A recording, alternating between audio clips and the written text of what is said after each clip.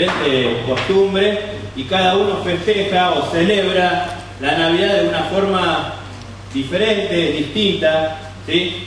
Eh, a nosotros. Otros se comen platos fríos, otros platos calientes, ¿sí? Eh, acostumbran a hacer juegos en algunos lugares, ¿sí? Festejos, celebración de la Navidad. Ahora, eh, saben que algo de, todos los datos que pude buscar, sinceramente el que más me llamó la atención es que si le preguntamos a, muchos asiáticos, ¿sí? Japón, China, acerca de la Navidad, ya te dicen que sí, festejan la Navidad, si le preguntás qué es, saben o piensan que es algo de una religión cristiana. No saben lo que es, saben que es algo de una religión cristiana. Y su eh, festejo es más bien algo como San Valentín, ¿sí? algo de unión en parejas, de regalarse entre las parejas. ¿sí? Nada que ver a lo que nosotros tenemos acá, ¿no? a lo que queremos nosotros. Entonces, diferentes creencias acerca del festejo de la Navidad. ¿Tenemos ahí ya más o menos? ¿Está bien, no? Bueno. Eh, acerca de qué creemos ¿sí? o qué festejamos en la Navidad. Y la pregunta que, con la que quisiera empezar es, ¿qué festejamos en la Navidad? Se la pueden hacer para ustedes mismos y responderla ahí en su mente. ¿Qué festejamos en Navidad? Ahora, podemos saber qué significa, pero ahora en la realidad y en la práctica del día de Nochebuena, ¿qué festejamos? Una cena en familia, porque le damos prioridad a eso. ¿Se entiende lo que voy? Festejamos eh, que, tenemos dinero para poder comprar cohetes y tiramos. ¿Qué festejamos? Esa, práctica de, tirar a los fuegos artificiales está buena, a algunos les gusta, a otros no, otros por los perros, hoy por hoy dicen que los perros no. Están muy protegiendo a los perros, está perfecto. Eh, pero se acostumbra, por lo menos en Argentina, mucho más en Brasil, ¿sí? acerca de recibir la Navidad con fuegos artificiales, ¿sí? como algo espectacular, algo que viene, un festejo de que llegan las 12 y ahora es Navidad, tenemos fuegos artificiales, serpentina y todo arriba festejamos. A partir de ahora estamos festejando. Es Navidad. Ahora, ¿qué festejamos? Bueno, quería ver tres cosas en las cuales nosotros, como cristianos, debiéramos festejar en cuanto a la Navidad. ¿sí? Vamos a buscar en nuestras Biblias Mateo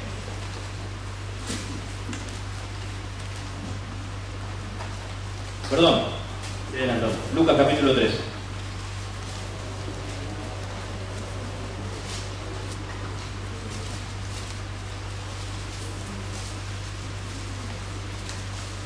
Y otra vez, perdón, Lucas capítulo 2, 29.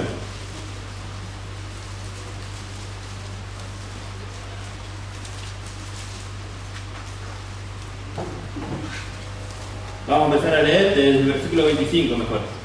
Miguel, ¿me puedes ayudar con la lectura?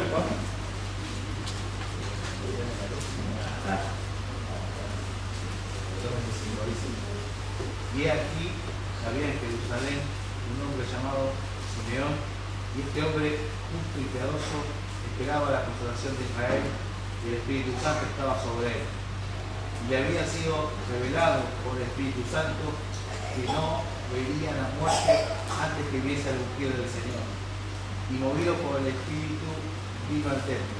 Y cuando los padres del niño Jesús lo trajeron al templo para hacer por él conforme al rito de la ley, él le tomó en sus brazos y bendijo a Dios diciendo, ahora Señor, te pide a tu siervo en paz, conforme a tu palabra, porque han visto un poco su salvación, la cual has preparado en presencia de todos los pueblos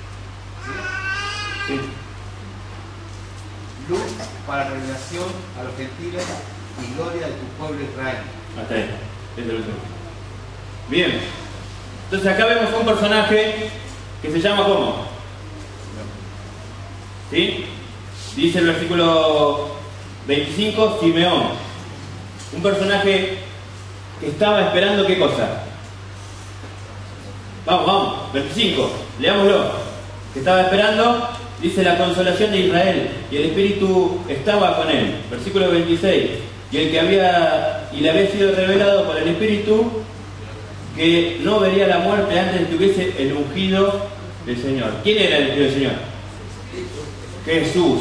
¿Sí? Entonces, una persona devota a Dios, una persona religiosa, una persona que realmente confiaba, entre paréntesis, era judío.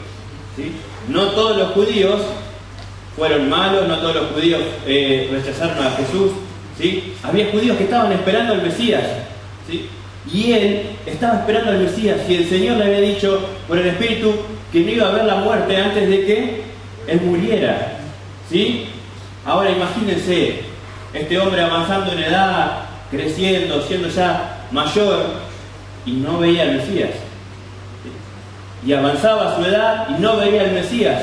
¿sí? Pero llega un momento de su vida donde el movido por el Espíritu dice, va al templo y ¿qué hacen? Eh, y cuando los padres del niño le trajeron al templo para ser conforme al rito de la ley, él tomó en sus brazos y bendijo a Dios diciendo, ahora Señor, despide a tu siervo en paz conforme a tu palabra. ¡Wow! ¡Qué gran festejo que habría en el corazón de esta persona! Alegría, ¿no? Un desborde total.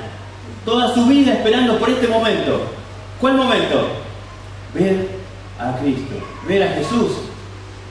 Toda su vida esperando por este momento, se lo había prometido, y llega el momento con una gran alegría, dice, Señor, ya me podés despedir en paz. Ya estoy, ya estoy listo, me podés llevar.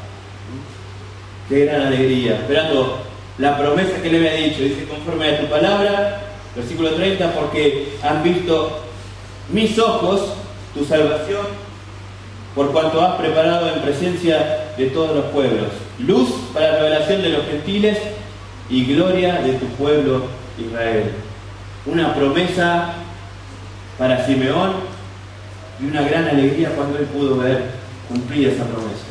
Pudo tener en sus brazos a Jesús. Un gran festejo de alegría. ¿sí? Ahora, ¿saben qué podemos festejar nosotros en Navidad? El cumplimiento de las promesas. A lo largo de todo el Antiguo Testamento hubo muchas promesas acerca de Jesús. Y podemos festejar que es Jesús, en el nacimiento, en la Navidad, se cumplieron todas esas promesas. Vamos a, ver algunas. Eh, Mateo.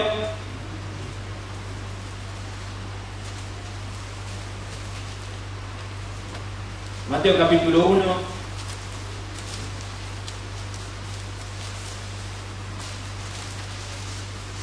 Alguien que me pueda buscar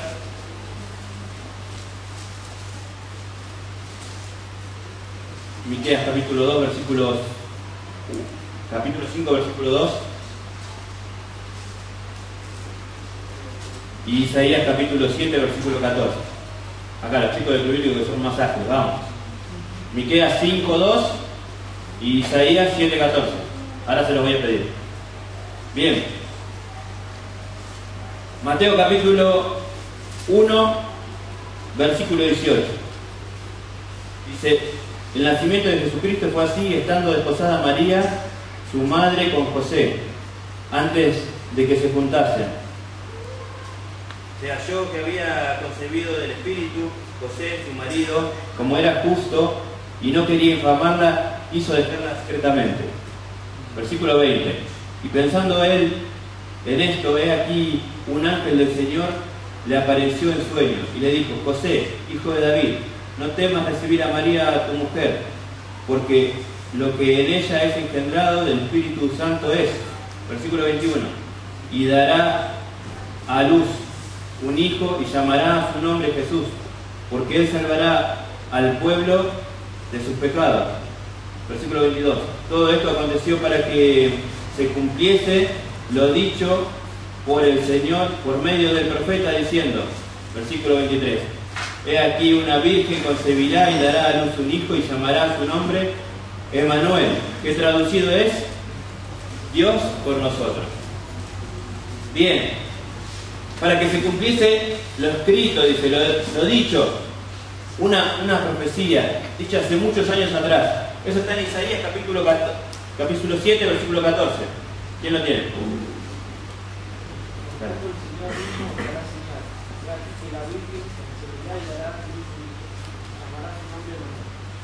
Muy bien. El Señor mismo dará señal. Una virgen va a concebir y va a dar a luz un hijo y va a llamar a su nombre Emanuel. Tal cual lo que está pasando en este momento, en la Navidad. ¿sí?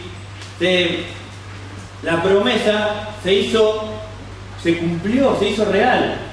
Lo que había prometido Dios hace mucho, en este momento se está haciendo real. No es momento, no es oportunidad de festejar, de celebrar que lo que Dios dice un día se va a cumplir, que lo que Dios dijo se cumplió. Ahora, hay otra. Sigamos leyendo eh, capítulo 2 de Mateo. Vamos a ir directamente al versículo, capítulo 2, versículo 5. Ellos le dijeron en Belén de Judea, porque así está escrito por el profeta. Tú, Belén, de la tierra de Judá, no eres la más pequeña de entre los príncipes de Judá, porque a ti, de ti saldrá un guiador que apacentará a mi pueblo Israel. Miqueas 2, 5, 12. ¿Tenés?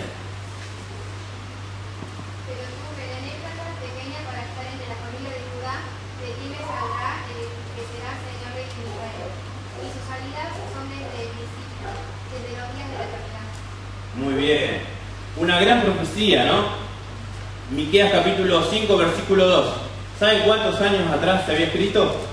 700 años atrás.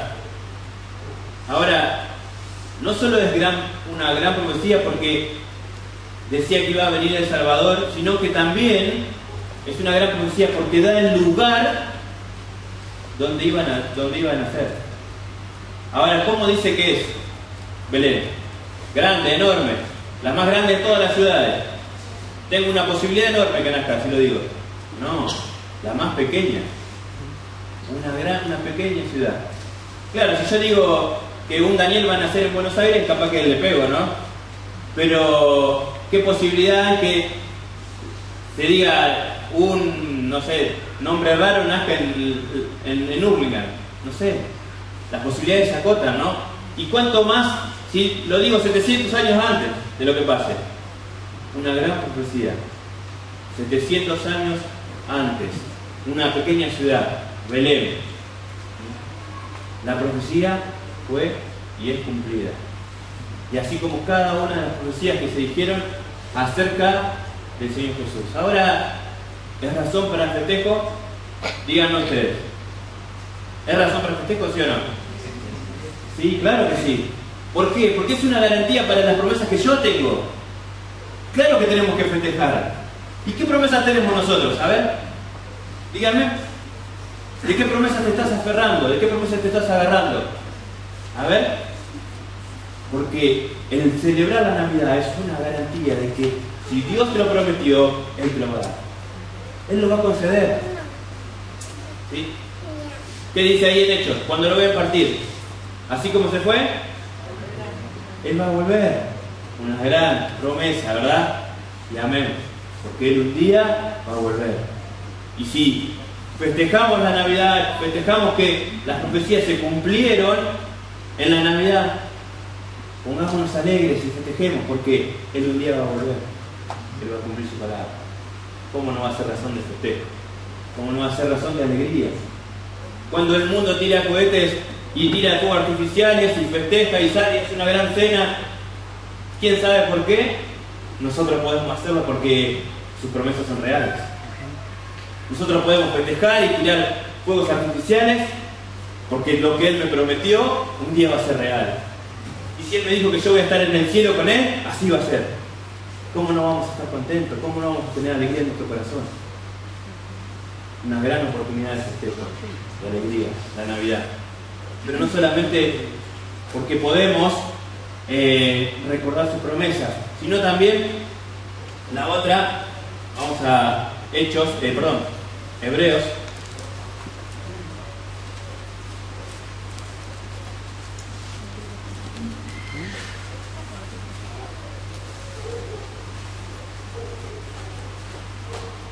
Hebreos capítulo 10. Un gran pasaje, podríamos hacer todo el mensaje de este pasaje, pero vamos a mencionar, vamos a hacer, vamos a tratar de ser cortos. Hebreos capítulo 10. Si quieren, les gusta investigar, sentirse atrapados por la historia, por los detalles, lean Hebreos. Cada detalle del escritor no se le escapa nada, ¿verdad? Cada frase que tira es como para estudiarla, profundizar y saber por qué está diciendo esto. Pero tiene mucho contenido. El capítulo 10, vamos a leerlo un poquito para que podamos entender. Dice el capítulo 10, 1. Emi, ¿me das una mano la lectura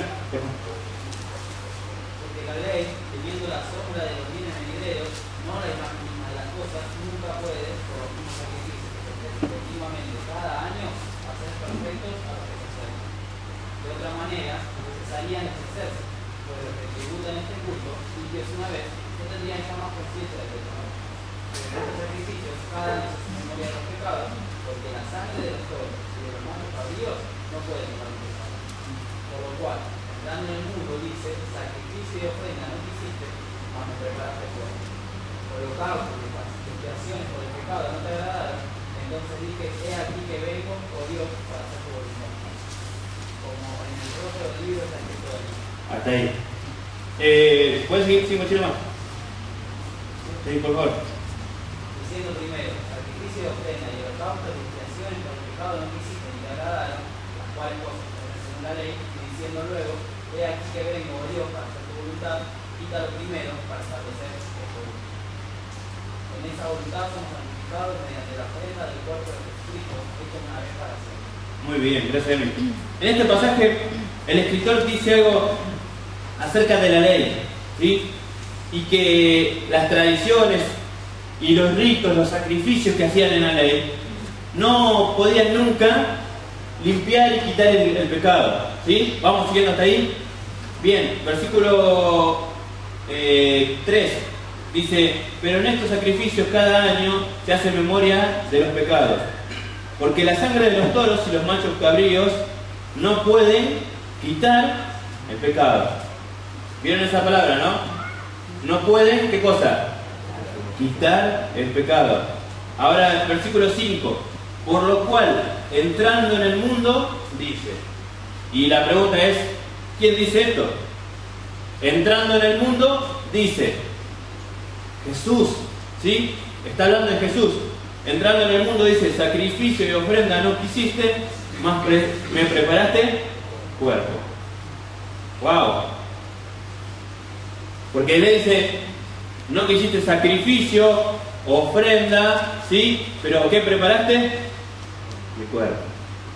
Ya cuando entró al mundo diciendo, este es mi cuerpo, va a ser el sacrificio, va a ser la ofrenda. No preparaste el sacrificio, preparaste mi cuerpo. Bien, ¿cuándo preparó el cuerpo de, de Cristo? El del Hijo de Dios. ¿Cuándo preparó, fue preparado? Cuando nació, ¿Él existía antes? Sí. Antes de Belén existía. Pero le preparó cuerpo en cuándo? Cuando nació, en la Navidad. ¿Sí? Bien, sigue diciendo. Eh, entonces dije, he aquí que vengo, oh Dios, para hacer tu voluntad. Y esa palabra me encantó, porque dice, Él dijo, he aquí, vengo. Sabía que el sacrificio, la ofrenda, iba a ser su propio cuerpo, pero dijo, he aquí, vengo. La disposición de Cristo a venir con nosotros. ¿Cómo no podemos celebrar eso? Cristo tenía en su corazón venir para dar su vida por nosotros. Ahora dice el 8, y diciendo primero sacrificio y ofrenda y holocausto y expiación por el pecado no quisiste, ni te agradaron las cuales esposas se ofrecen según la ley. Y diciendo luego, he aquí, vengo, oh Dios, para hacer tu voluntad. Y quita primero para establecer, lo primero para establecer lo último. He aquí, vengo. sabiendo Cristo que iba a ser su cuerpo el que iba a ser sacrificado, el que iba a ser ofrenda para Dios. ¿sí? Él dijo, yo voy a ir. La disposición que Cristo tuvo desde la eternidad a venir a una cruz, a venir a nacer como Y este pasaje, esa reflexión me llevó al pasaje de Filipenses.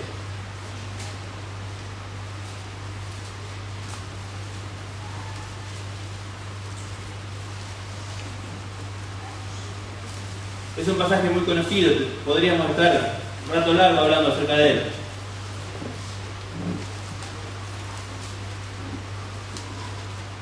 Filipenses capítulo 2, versículo 5. Haya pues en vosotros este sentir que hubo también en Cristo Jesús, el cual siendo en forma de Dios, no estimó el ser igual a Dios como cosa que aferrarse, sino que se despojó a sí mismo, tomando forma de siervo, hecho semejante a los hombres, y estando en la condición de hombres, de hombre, se humilló a sí mismo, haciéndose obediente hasta la muerte y muerte de cruz. La disposición que él tuvo. ¿Cómo no vamos a festejar y celebrar? Que hace un poco más de dos mil años atrás, esa disposición se hizo real. Cada uno de nosotros podemos decir hoy, eh, ¿quién, no sé, quién está dispuesto a venir a trabajar? Acá en la iglesia está el día. Todos pueden levantar la mano. Pero se va a hacer real cuando ustedes vengan a trabajar. ¿sí? Ahora él podría, podríamos ver, o, podría estar una posibilidad que nunca se, va a dar, o nunca se dio, de que él hubiese dicho, yo estoy dispuesto a ir por ellos, por las personas. Pero que nunca venga en realidad. Pero en el nacimiento de Cristo, esa disposición de su corazón se hizo real. Ahora, ¿qué implica que Él quiera venir? Mira, dice, el cual siendo en forma de Dios. Ahora, no, no es que está a la par nuestra, ¿sí? Él no tenía necesidad de hacerlo con nosotros. Ahora Él quiso hacerlo. Estaba en su corazón hacerlo con nosotros. Eh, el cual siendo en forma de Dios, no estimó ¿sí? el ser igual a Dios como cosa a que aferrarse, no le importó dejar de ser, no dejó de ser, perdón, despojarse de sus dones o talentos o habilidades como Dios, y dice, sino que se despojó a sí mismo, siendo for, tomando forma de siervo, hecho semejante a los hombres, ¿sí? como vos y yo, envasando a una persona o conteniéndolo dentro de un tupper, dentro de un envase, ¿sí? que tiene forma de cuerpo. Es para nuestra capacidad, creo, por lo menos para la mía, intelectual, es difícil comprender cómo el eterno Dios puede estar dentro de una persona, dentro de un envase. Pero lo hizo así, con limitaciones de hombres, como las mías, como las tuyas. Él decidió limitarse a eso. Y aún rebajándose, humillándose a estar un Dios eterno, poderoso, con cada una de sus cualidades, en el formato, en el envase del hombre, aún así se humilló siendo una persona, siendo hombre. A una muerte que fue una de las muertes más humillantes la muerte de cruz. ¿Saben quiénes eran colgados ahí en la cruz? ¿Quiénes? Los ladrones, los asesinos. Y no había hecho nada de eso. Pero sin embargo aquel que veía ahí no veía lo que pasó, solo veía un asesino, un ladrón, por nosotros. Ser colgado en esa cruz. Como uno de ellos, como un asesino, ¿Cómo no festejar la disposición que Él tuvo y el amor que nos tuvo para con nosotros? Que un día, como el de hoy, puede ser 25 de diciembre o no, pero sí recordar que un día Él, la decisión que Él tenía en su corazón de venir a salvarnos, se hizo real. Él quiso salvarnos. Ahora, hay otro versículo que quería compartir con ustedes. Mateo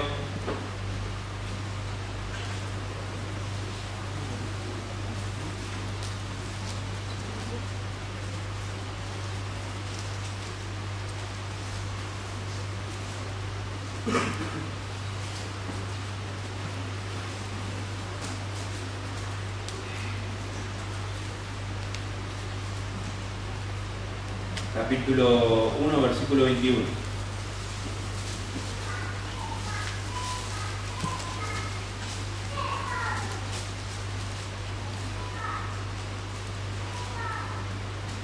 Y dará a luz un hijo y llamará su nombre Jesús, porque él salvará al pueblo de sus pecados. Y llamará a su nombre Jesús. Porque, ¿qué va a hacer él? Va a salvar al pueblo. Saben que nuestra imposibilidad de llegar a Dios es tan grande, no había forma. No, por más que quisiéramos esforzarnos, y todas las tradiciones judías lo, lo demuestran, que no hay rito ni acción que el hombre pueda hacer que nos pueda quitar y limpiar nuestros pecados. Bien lo decía el Hebreos, ¿no? Que ni los machos cabríos, ni el sacrificio de nada, nada había en este mundo que podía hacer que nosotros pudiéramos ser limpios. Ahora, acá en el versículo 21 dice, y llamará a su nombre Jesús. Él salvará al pueblo de sus pecados. ¿Sabe cómo le puse yo acá? ¿Qué festejamos en Navidad? Festejamos que nuestra salvación tiene un nombre. ¿Cuál es? Jesús. Nuestra salvación tiene un nombre y es Jesús. Porque en ningún otro hay que salvación. En ningún otro hay salvación, porque no hay otro nombre bajo el cielo dado a los hombres en el que podamos que ser salvos. Solo en el nombre de Jesús podemos ser salvos, solo a través de Él podemos ser salvos. Ahora, ¿cómo no celebrar eso en la Navidad? De que a través de Jesús solamente podemos ser salvos. Y le voy a pedir que puedan levantar la mano aquel que un día dijo, yo soy salvo en el nombre de Jesús. ¿Quién es salvo en el nombre de Jesús? A ver. Amén. ¿Cómo no estar alegre? ¿Cómo no regocijarnos de que hace dos mil años atrás esto se hizo real? No era solamente una promesa, no era solamente un sentimiento y un deseo en el corazón de Jesús, sino que se hizo real y ahora tiene nombre, es Jesús, la salvación de los hombres. Antes era imposible, no podíamos llegar a Dios, pero hoy nuestra salvación tiene nombre, Jesús. Y hay algo que, me impacta, volviendo un poquito al, punto anterior, que me quiero re, retomar. Romanos capítulo 8.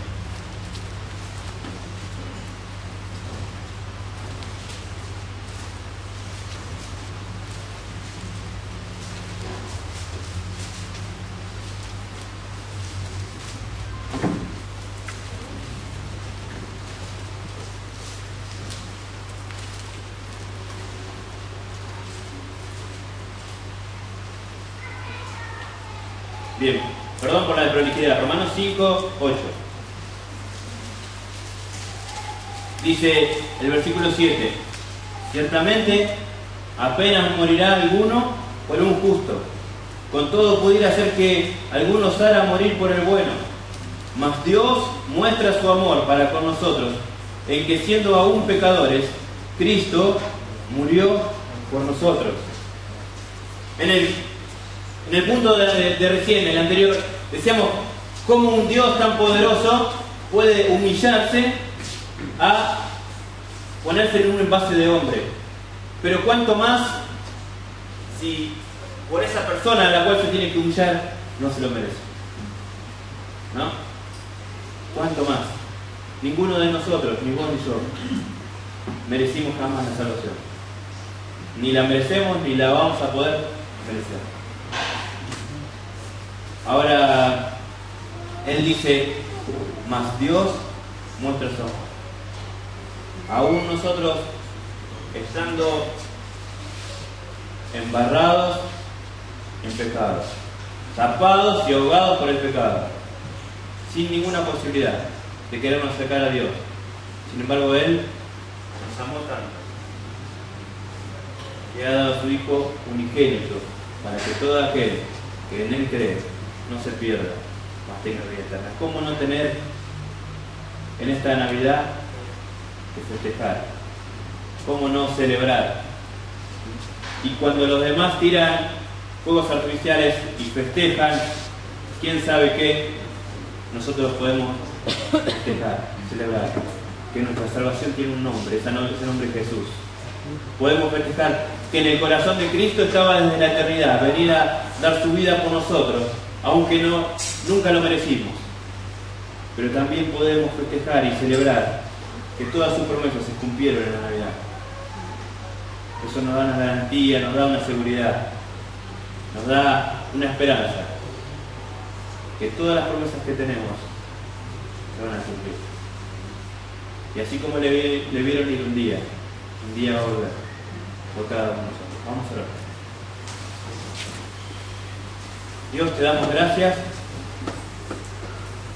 por Cristo, por Jesús, porque en Él nosotros pudimos encontrar, Señor, la salvación.